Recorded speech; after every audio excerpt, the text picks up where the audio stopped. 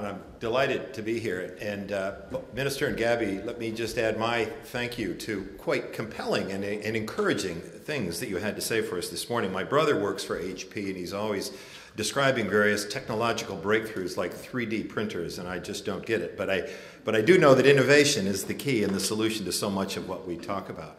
Um, American accent, running an organization based in the UK, all rather complicated bilingual like so many in this room. I speak English and American.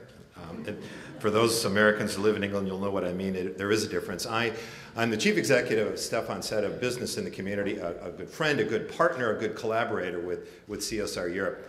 But I spent most of my working life running companies, global businesses, um, big complex businesses, but, but, but also uh, businesses that make things practical manufacturing operations around the world. And so I've been in the, the shoes of many in this room when it comes to the challenges of bringing these agendas to life. What are we talking about? What are we actually trying to do here? What is that role that business and good stewardship can play? We heard a wonderful example of what stewardship in the Swedish context can and should be. Why don't we see that happening more places?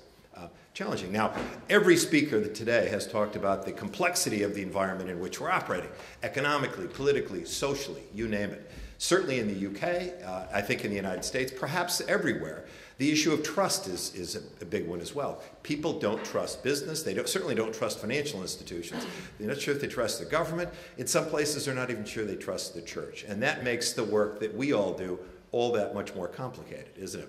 The headlines in the newspapers in the UK, don't know what they're like where you live, they're all about executive pay, uh, who's paying or who isn't paying taxes, as it were, but also about the rising gap between the rich and the poor uh, about the equality of opportunity for young people coming through the system. Issues that are really very important and right at the heart of what it is that we're talking about. When I listen to companies, the companies here today, the other companies that I get to talk to in my work and travels around, I hear some pretty consistent refrains. I hear companies say that they're doing quite a bit. They're actually quite proud of what they're doing. When you push and probe a little bit, they can concede. Uh, mostly willingly, that there's an awful lot more that they can and should do. They are beginning to realize that this is part of value creation, as everyone has said today. This isn't some add on, this isn't PR, this isn't some supplemental activity. It really is part of the value creation model of an organization, creating value by living your values. We, we believe that, or we wouldn't be in this room today. There are some out there that perhaps don't share that view with us yet, and we have to, to work on that. But what the companies also say to me is, why I'd like to do more, and I know in these difficult times and times of government fiscal austerity, there's an opportunity, a challenge, maybe a necessity for me to step up in a different way in my own business. It's complicated. I've got all these conflicting priorities. I don't know where to begin. My customers won't pay for it. My bankers don't ask me about it. My shareholders don't do this. The governments that I supply don't ask me about this in their supply contracts.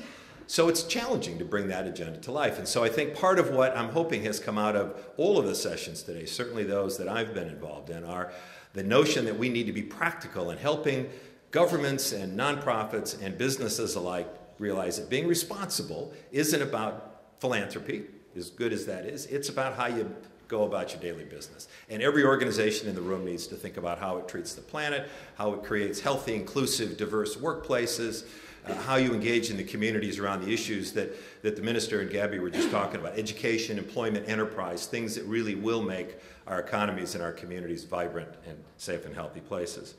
Um, we've got um, our annual meeting next week, which is always fun. We've got about 700 people gathered, and we are challenging them on a number of fronts, talking about what local community involvement looks like, but also recognizing that notwithstanding all the rhetoric, notwithstanding everything that we hear from businesses in terms of what they're worried about for their long term success, the sense that the whole sustainability agenda is sliding just a little bit down the agenda. It's not quite as important because we've got these short term economic pressures or whatever. So we're, we're trying to spend some real energy making sure that this stays at the top of everyone's agenda. One of the ways that we know that we do that is through awards. And so we're delighted to be working with CSR Europe uh, on the European-wide CSR awards. How do we challenge and encourage and excite companies in that way to really make all of this happen? And there'll be more about that in the future. Now, in our session, uh, just to supplement on a few of the things that were said, and the idea was what does and should good cooperation look like between uh, CSR bodies, organizations like many represented in this room, and government, both national, local, and international government. What does it mean and how do you do it? Is it, is it simply a financial exchange? Is it simply about some asking money from others? Well, perhaps there's some of that there, but, but realistically, in the environment we're in, what everybody is saying, it needs to be so much more.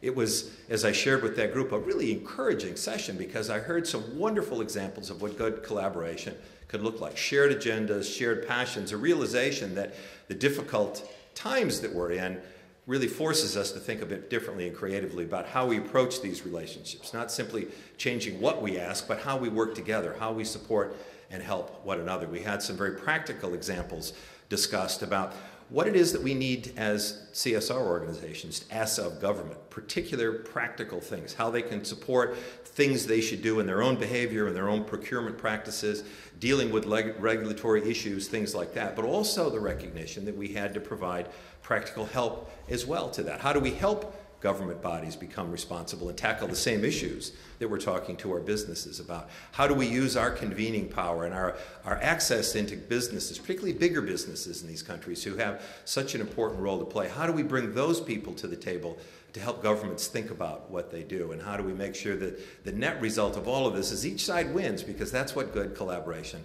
looks like. There are themes that have run through all of this. The, the frustration that governments keep changing, ministerial roles keep being passed around, and that seems to happen in every country. Uh, and it's difficult because you're having to start over all the time.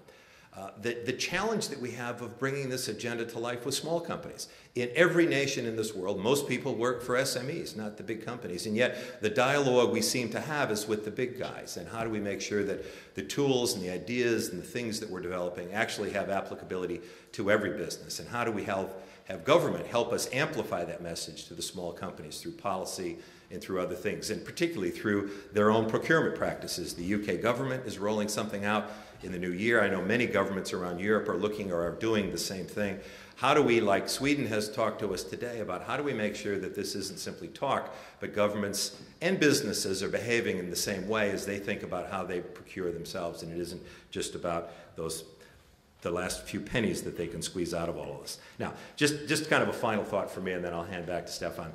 It is a question we should ask ourselves, I think, regularly, uh, which is, does this matter? Are we, are we actually making any progress here? Are we, are we busy giving one another awards and clapping one another on the back and talking about all these great things and talk, talk, talk? Is there any real action happening on the ground out there? Well, there is an awful lot of talk, we know, but there is an awful lot of positive stuff happening. We hope the CSR awards that we're all collectively involved in will tease those out, will challenge and inspire others to be the, the pebble in the shoe, if you will, for some of those companies. It's really exciting. I think it is real.